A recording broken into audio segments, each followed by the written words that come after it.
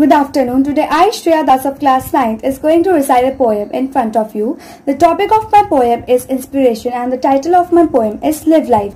Life is crazy and totally unpredictable. It's going to push you over and kick you while you were down and hit you when you try to get back up. Not everything can beat you. Things are going to change you. But you get to choose which one let change you.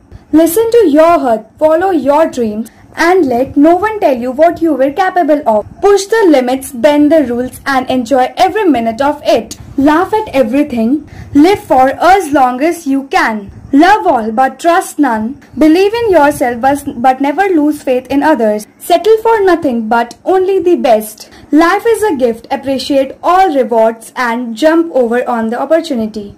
Challenge everything and fight for what you believe. Forget the unnecessary but remember everything. Bring it with you everywhere you go. Hate nothing but dislike what you want.